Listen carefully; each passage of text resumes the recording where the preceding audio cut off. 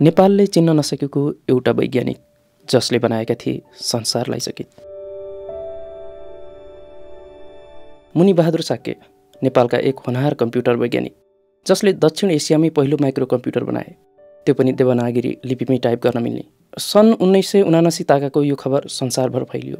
नेपाल विज्ञान प्रविधिमा अब्बल रहेको सूचना विश्वले थाहा पायो। तर दुर्भाग्य नेपालको माथिल्लो तहमा हुनेहरूले भने त्यसको महत्त्व बुझ्न सकेनन्। एक दिन चाहिँ चाइनिजहरू आयो कि? आएर उहाँले के भने यो मुनिसाकी को कहाँ this is me that's me किनभने हामीले यसो न्युजहरू पढ्यौँ we want to see the computer if you have made it just sauce how how does it work यही कुनामा थियो कि त्यो कम्प्युटर ल्याएर घन्टौँ लगाएर उहाँलाई देखाएँ मैले होइन देखाएपछि ओ दे भेरी इम्प्रेस्ड चाइनामा त्यति बेला के थियो मलाई थाहा छैन त इन्डिया पाकिस्तान बङ्गलादेश यो सराउन्ड यो ठाउँमा बनाएको थिएन थिएन नै। अनि भोलिपल्ट सिनेमा न्युजमा छापे हेर्नुहोस् है। हङकङबाट सिनेमा न्युजमा अठासी संसारभरि सबै मुलुकमा अठासी देशमा एकैचोटि छाप्यो। यो मेरो मुनिसकेको नाम होइन यो नेपाल। नेपालको नाम छापिएर गयो।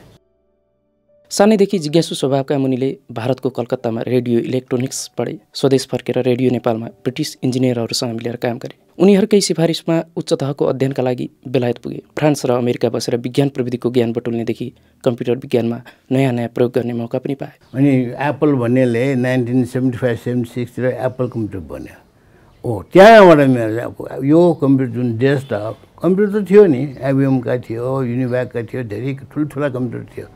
होइन संसारभरि त्यहाँ अमेरिकनले सुरु गरेको थियो त्यो त हामीले बनाउने र त्यो अब एक्लै मान्छेले कसैले गर्ने कामै हो त्यो होइन जब डेस्कटप आयो नि टेबलमै बस्ने कम्प्युटर त्यो चाहिँ बनाउन सकिन्छ भन्ने मनमा लाग्यो मलाई यो फ्रान्समा हुँदाखेरि मैले सिकेँ यो कुरा अनि कम्प्युटरको एबिसी जे जे थियो सुरुमा जहाँ जति जे इन्फर्मेसन पाइन्छ त्योहरू पढ्ने साथीहरू पनि त्यहीँ फ्रेन्ड्सहरू नै थियो फ्रेन्ड्स पनि एकदमै त्यो एउटै भने इन्ट्रेस्टिङ विषय भएपछि धेरै लामो कुराहरू छलफल गर्ने कुराहरू भयो।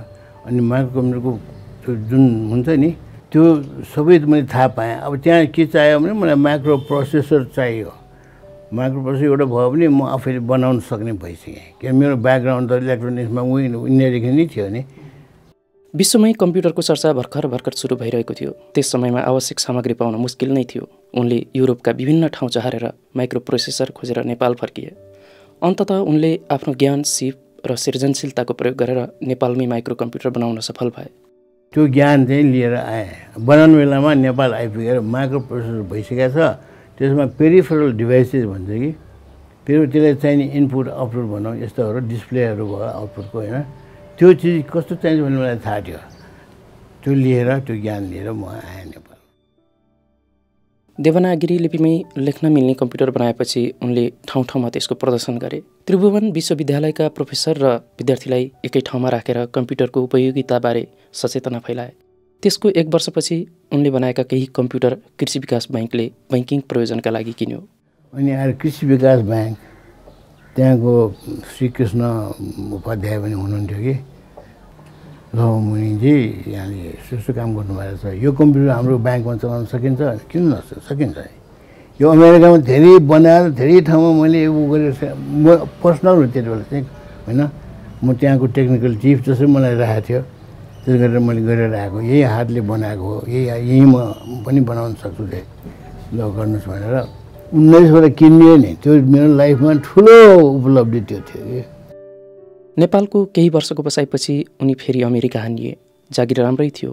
तर आफ्नै देशमा सृजनशीलताको प्रयोग गरी नेपाललाई विश्व प्रविधि बजारमा चिनाउने हुटुटीले उनी अमेरिकामा चैन साथ बस्न सकेनन्। त्यसैबीच साक्यले आफ्नै देशमा बसेर केही गर्ने सपना सजाए। मदरबोर्डै बनाउन सकिन्छ यहाँ। म त्यो जुन मैले ल्याएँ यहाँ वाज अलमोस्ट फोर करोडको थियो त्यो सामानहरू। अब दुनियाँभर सबै संसारभरि काम गरेर जति पनि बचाएको यही हो बचेको मेरो। I was living like an American was driving huge big Lincoln गाडी चलाउँथेँ म अमेरिकामा चाहिँ। त्यस्तो पैसामा थिएर पनि तर आफ्नो देशको मायाले के गरौँ नेपालमा?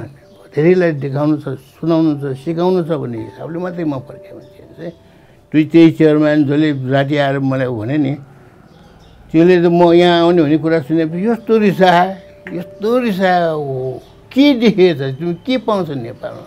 Why would you get in there is nothing in Nepal even in India there is hardly anything नेपालमा झन् के हुने भनेर दुःख पाउँछ धेरै तिमी you stay here why do you go back why why not what you see in Nepal that's my mother country that's my own country I want to go back भनेर आएको उनीसँग ज्ञान सिप क्षमता र आत्मविश्वास सबै थियो।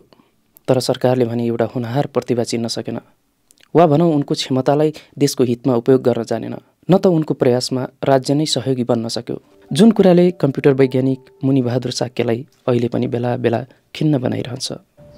थाहा सुनि सुनिकन थाहा पाइकन पनि यो फिल्डमा हाई टेक्नोलोजीमा अगाडि नबढ्नु विज्ञान प्रविधिमा अगाडि नबढ्नु त्यो ठुलो कमजोरी जसले गर्दा हाम्रो विकास जति पनि छ नि बाधक। यो विज्ञानलाई नहेर्नु र त्यसलाई चाहिँ नपछ्याउनु र त्यसलाई के नगर्नुमै सबभन्दा ठुलो गभर्मेन्टको म दोष भन्छु। मेरो दोष मैले त गरेँ नि। लाइफमा मरि मरि जहीँ जाँदा पनि इन्डियामै हुँदाखेरि फ्रान्समा हुँदाखेरि इङ्ल्यान्डमा हुँदाखेरि अमेरिकामा मरेर मैले काम गरेकै भने सिकेर आएकै भने।